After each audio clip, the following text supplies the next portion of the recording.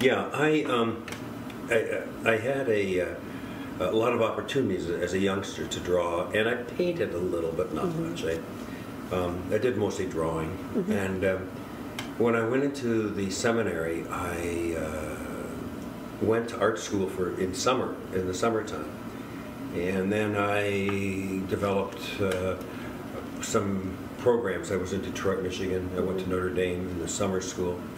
And when we, when we came down to Dayton, Ohio, I went to Dayton Art Institute, uh, again, in the evenings. After I was ordained a priest in 72, I went into um, uh, DAA up at, uh, it was DAAP now. UC, yeah. At UC. So I was in the um, graphic arts, graphic design section for two years. And, um, but then uh, I uh, got involved with a community here called New Jerusalem Community and became very much involved. So I left school. And as a result, I, uh, uh, I didn't do any work, art for about 30 years. I was in Europe for about 20 years, and I came back and um, I made a sabbatical year where I put in some art classes and painting, and um, out of that, I realized that that's what I really would love to do. I, I want to do that, something like yourself. You know? Yeah. You've got one career, but you really would like to develop another part that's been hidden. Yeah. So I um, uh, took art classes, talked to my community, and um, the idea would be that I would continue preaching as a main apostolate, but that I should also develop this this chance of uh, art. Mm-hmm. What I did is I, I took the paintings that I had done during the sabbatical, mm-hmm. but I also took stuff that I had done 30, 40 years ago, and I put together a show. and I've, well, you see the studio, mm-hmm. and I had an open house, and about a year, year, year ago in November, and um, it's the first time I really put artwork up for sale, and I was surprised at, uh, that I did well. Uh, now, my style has changed a lot over the years, uh, but I, um, I'm comfortable in the different media that I've used. I, I usually mostly do silkscreen, uh, wood blocks, wood cuts, uh, draw a lot of drawings. Um, I've not done any painting really. The, the, in the sabbatical, I did tempera painting, just tempera on papers, and um, I enjoyed that very much. And I very much would like to go into oil painting. I, I like did it one week in acrylic, and it's interesting. I probably could I could probably grow to like it, but uh, I would think I would prefer to work with oils. Um, now the uh, the problem is is that I have these two these two jobs, and the one job for the preaching is taking up more of the time. I I need to do it because of the money. I need to do that so that I can make money to support the other things. Um, I have to um, help support the community I'm in. Um, and it's not just a matter of being away preaching, but it's a lot of correspondence, coordinating dates, doing airplane reservations, Yeah. checking out out- outlines, materials for different talks, etc. Pardon me. Um, so as a result, the art is is there, it's secure, but it's it's not getting the energy I want to give it, and um, it doesn't get the time.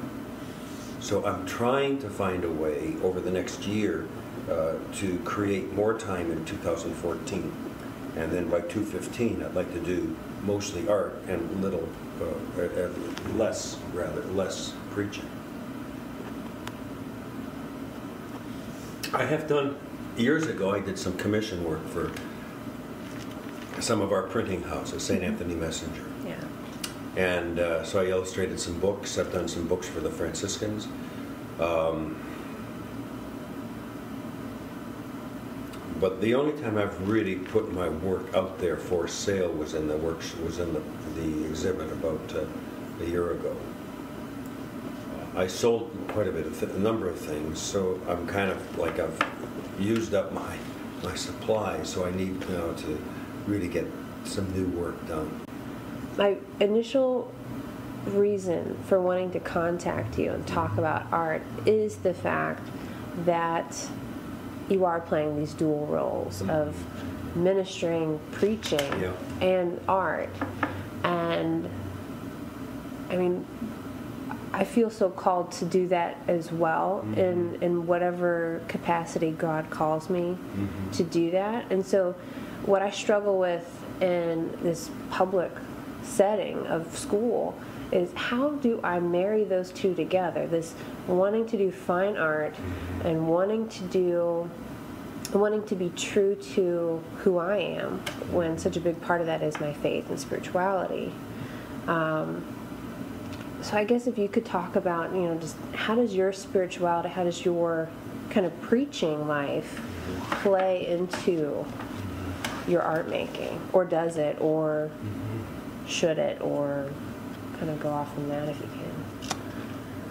Well, I think that it, it automatically and unconsciously uh, flow together. Um, because they both are expressions of an inner life that I'm not always aware of. Yeah. I don't try, I don't paint or don't do religious art. I don't uh, try to make nice, well, I guess and sometimes I'll do an icon or um, something a little more traditional in a way. Um, in the in the work that I'm doing recently in some what I call retreat workshops, uh, the um, the main sense is that uh, the God Spirit, however you refer to this Spirit, you know, from whatever your tradition is, most people believe that there is something larger than us outside of ourselves, something that is uh, creative, something that is invisible, something that has effect on, on within creation. Um, I, I choose, and I, I choose to believe that there is a God who, who is the, who is creator, who, who loves to imagine, who loves to um, design, to just to create. And um, because we've been made in the image and likeness of God, we also enjoy creating, whether it's other people or whether it's something that we make with our hands or our mind and music, uh, whether it's movement and dance, whatever it is that we we find a lot of pleasure in expressing ourselves. It comes very easily and naturally to most nations, most peoples. And um, so I feel that whenever you are creating, you're part of a creative process. You're moving into that invisible world of, of the Spirit, and the Spirit is working through you. You know, the Spirit, you know, uh, would like to do certain things, most likely. But the Spirit also respects our uh, desires, our skill, our judgments, so that you can be creative with the Spirit going through you. And um,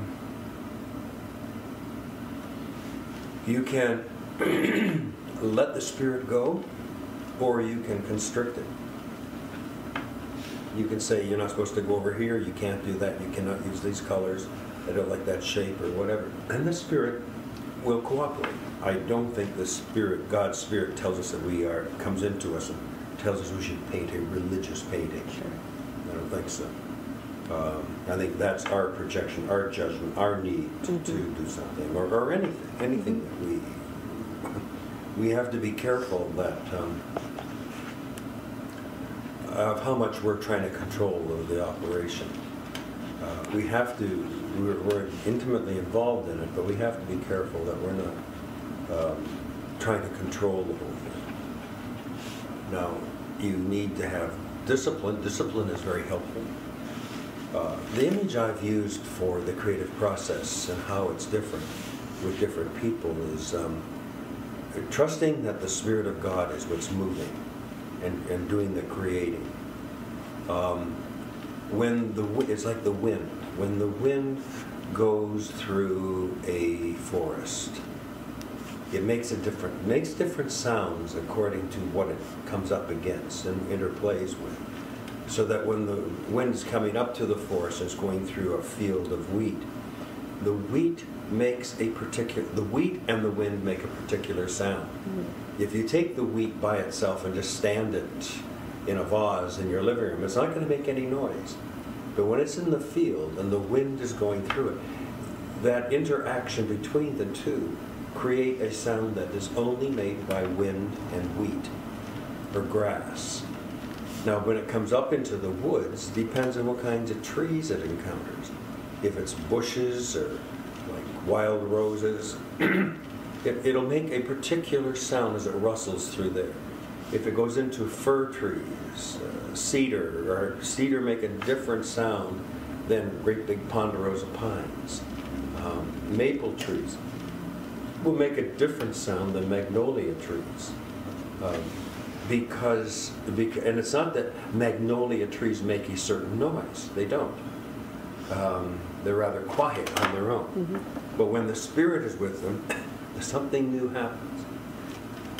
And the same thing with us, that um, when, when God's Spirit moves through us in a creative process, uh, it, it's going to it's going to pick up part of our interaction with it, and that's what you're going to see. But the thing is, is that the sound in nature is is not the wind, nor is it the tree. It's something new that was created between the two. And the same thing in a painting or some movement.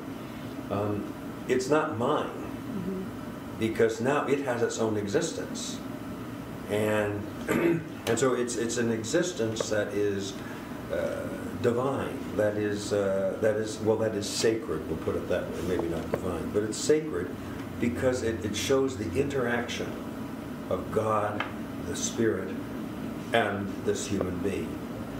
And so you kind of both step back after and, and kind of say, "Wow, uh, that's wonderful." Uh, but this, but it is not mine, and it doesn't tell you everything about me, eh, because it, now I can project something. I can paint one of my dreams, and or you know my office work, and even put in fingerprints or something like that. That's nice in a way. It's, it's okay, but it's not really. Um, it's more about me than about the creative process. I think there's a distinction there. And uh, the idea for me is to try to get out of the way as much as possible so that that wind will, will have be free to move through me and make whatever it wants to do. Uh, I, I see painting as a, um, a parable or as a, a paradigm for uh, human life in the spiritual world. Um, because if you have people coming in to paint, uh, like workshops, and I'll have people come in to paint, initially people expect to make a nice painting, a nice, they want to do something nice. They want something they can show people and they like, and they may even sell it. Um, to get people to step back from that and say, forget the thing. Forget about selling it. Forget about uh, how it looks. Just paint whatever comes through you. And don't judge it. It's a, it's a big challenge. Um, and I think that the way we approach art, the way we approach the creative process, is the way we approach life, the way we approach the spirit. So the process tells me a lot about the artist. Um, or somebody who's ready to jump in and become very, you know, involved and then kind of loses heart and wants to throw it away. Somebody who's very slow and whatever, but then gets into it. Uh, some people will work on it and work in miniature, miniature detail Other people will want such big broad strokes and, you know, something dramatic. uh, so um, the rhythm that you, you take in the process is also a very personal a statement. Uh, and that's where I, I feel that uh, painting can be a religious, spiritual exercise. Uh, that it helps you to see how you interact and how you refuse to interact with God, who is the Spirit. Are you willing to let God just say what God wants? Or do you say to God, I really like things uh, a certain size, certain dimensions, a certain volume, certain colors, uh, in proportion, et cetera, et cetera. How much are you dictating and how much are you allowing to come through spontaneously? I, I really agree with so much of that. Mhm. Definitely. I mean, that's probably the biggest reason I decided to go into art. Um, and struggling just as, as you to make art a bigger part of my life. You know, that, that's just, that's such a big struggle, uh, I think, for most artists too, just to like, how do I do what I feel that is the best for me, best for my mentality, best for just life in general. Um, but then how do you you make Yeah. the dough? Um, so I really like how you're already working on bringing those two sides together with these retreats, Yeah. and then helping others to Yeah, really kind of figure out, you know, this this need for creativity. You know, I, I've come across so many people who have said, I'm not creative, Mhm. that I couldn't draw. I couldn't draw, I Yeah, couldn't do it. And, and I, I, just have to tell them, like, I mean, drawing in an accurate manner is, is one thing that's if you want to invest in that, but there's so many things you do every day that are creative. Mhm, mhm. Um, That's right. and just learning that. You know, it's like we have to, re- yeah, yeah, and Yeah, not letting judging it. Yeah, yeah. It's it's very hard for us because we're so conditioned to judge everything, Right. to evaluate, it, Oh, see as a good, yeah. useless, useful. Yeah. Um, In your workshops, have you have you had like people come in and you've had like a, a moment where someone just kind of it clicked for them and they're like, I'm a creative, I'm an artist, or like you were saying, someone who just is like, whoa, I did not know I had these kind of suppressed emotions. Where are these coming from? well, it's a, you you find a lot of different things. I've found people who come in and because it's uh, because I'm a priest and it's a Yeah. it's in a religious context on a retreat, they expect to come in and paint Last Suppers and Mhm. something with the Eucharist or the Virgin Mary and a child. Mhm. Um, I've tried to move them away from that, but they always kind of gravitate back to it because it's safe and, and it's good holy. Mhm. Um, then there are some who have, uh, a lot of people have a hard time breaking through some of the resistance. And, and you get to a point and you say, I think I'm through, I'm through. But they're, they're disgusted with it, they're, they're bored, they're frightened. And, and that's, that's always a, a very uh, graced moment because that means you've come up against this, you know, the, this, the, uh, your energy and God's energy want to move, but Mhm. there's something that is resisting it in you, and so if you stop then, Mm. it's gone.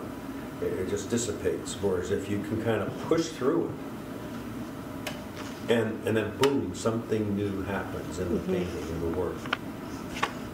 I find that very true, and and part of the art making process, it is about the struggle.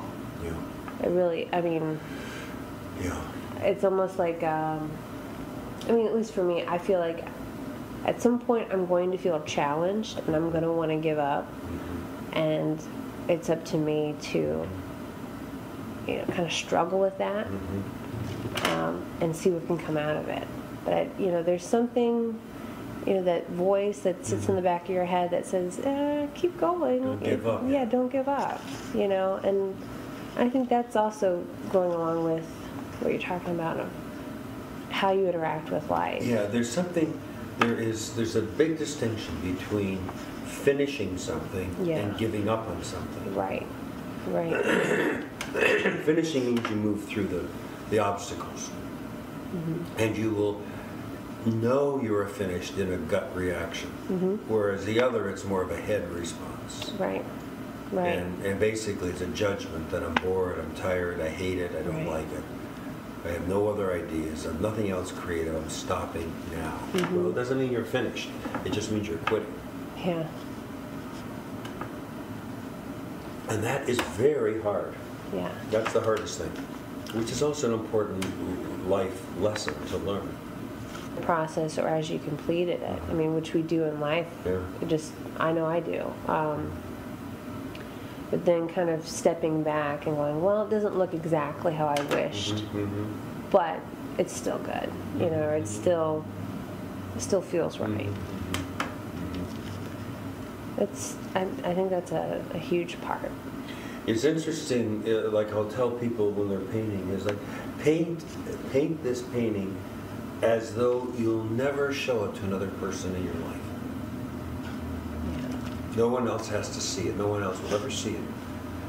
So you have, the- you can paint whatever you want, however you want, any color you want, Mm-hmm. because no one is ever going to see it or judge it or appreciate it. Mm-hmm. Tell you you're stupid, you have a filthy mind, or or whatever, you know. Right. Wow. Yeah. And when you can paint like that, Yeah. then it's then the wind really blows. Yeah. So tell me about this the studio space that you have here. Is this? Um, I mean, it seems like this is probably a, a separate space from your like living. World, yeah. world, yeah, I have three Yeah. worlds. Yeah. I have the uh, studio upstairs, the Mhm. office upstairs, the house where I live over by the market, and then Mhm. this. Um, I was very fortunate in being able to uh, have this space Mm-hmm. because I met I met a woman who she and her husband manage these properties Mhm. for a for a, an owner, the Mm-hmm. owner, and um, I had their wedding 30 years ago. Oh. So they, they, they're happy to have me here, so they gave me a very good price, very good rent. And then I had some inheritance money that I used to fix the place up. So now I've got a, a Class A workspace. Yeah. It's gorgeous, it's very well equipped. Uh, there's a full basement yet, this is just part of it. And um, this area I use more for work, and I've got two people coming in for a painting group. Um, And uh, so this is a work area. The front room out there, I'm going to be using that more as a gallery.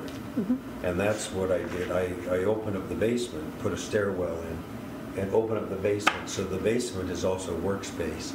The front is going to be a permanent art gallery. And then I'm going to rent a small uh, storefront right next door. So that's all kind of connected. And um, that, uh, that room will be just like a double this space, and it'll only be for painting Mm. class, for workshops. Mhm. We'll keep everything out and make a mess and whatever you want to do. You can't, I can't do that in the front room because it's, you know, it's too nice. And, uh, and I'm, uh, I'm just too compulsively neat. And so if I can, um, uh, what I want to do is, uh, I want to exhibit my stuff, and I also want to exhibit the Friars stuff. And Mhm. What I would like to do is to have a uh, little organization uh, that I could have, let's say, once a month, a different friar would show something. I have some guys who do photography, some are painting. Mhm. Um, There's about six, seven people I could get, and then myself on top. Mhm. We could have an evening of poetry reading with Murray Bodo, you know, one of our friars. Mhm. Um, I would like it to be a friars, a Franciscan studio for people in the neighborhood or in the city. Uh, they could see us doing something other than celebrating Mass. Um, but you have an interesting background because you've got a business background. Mhm. This is what I need. Is that I need what I'm going to need is a uh, uh, I, need, I need some business uh, assistance Mhm. to do promotion, to Mhm. plan. You know, say, okay, there's these galleries. Uh, you should show over at this place. You should get your, your notice of your show over there and also in the Cincinnati newspaper here or this community paper. You should send out this, the an advertisement for the workshops and here's a mailing list that would go to. Um, So marketing is a, is a huge challenge. Um, And yeah, I find you can become paralyzed without it, and you, you produce something, but nobody's going to see it. Or you spend all your time marketing and you don't have time to do some original stuff. Yeah. And that's where I'm feeling a big bind right now, because I only have about a quarter of the time, a fifth of the time, that I dedicate to art. Uh, I've got everything ready. I've got all the stuff. I've got the space. I just don't have the time. And um, and I may have two hours here or an hour and a half there, but it's not enough. You need the big blocks of time. Not when you get going. Yeah. Yeah. So that's, um, I'm fortunate because I live with the Franciscan community and they help absorb some of the bigger expenses. They will pay for the rent. Um, So I don't have to shut down because I can't sell stuff and pay for it. Um, So I, I have like that type of family backup, uh, that I- I don't have to worry about the the rent right now. I don't do any, I've done a few things for commission, but I'm not really too eager to do that. Yeah. Um, What I'd like to be able to do is just do a number, get a build, build up a portfolio that I could exhibit and sell. You know, That would be fun. Now you were talking about the other friars and even about nature, um, which I know is a huge thing with St. Francis and Franciscans. Um, I'm just wondering, is that maybe some proponent that kind of drove you to that order, maybe? Yes, yes, yeah. Yeah, I came to the Friars because of Francis, because of his stories, um, it- the romantic stories Yeah. about him. uh, And, and the more I'm here with him, um, I see how, how wonderfully uh, up to date he is and ahead of us even. Yeah. with environment and, and his respect for all creation. And then there's been some great Franciscan teachers uh, in history uh, who have taken that thinking and uh, have taken his experience and reflected on it in their time. Uh, St. Bonaventure and another John Duns Scotus in Scotland and England, uh, France, in 1300 and uh, really a magnificent brain and did a wonderful creative thing. So that uh, beauty is the is the surest pathway to God. Uh, that God is God is one, creative, intelligent, powerful, reasonable, etc. But most the most beautiful description of God is beauty itself. God is all beauty. God loves beauty.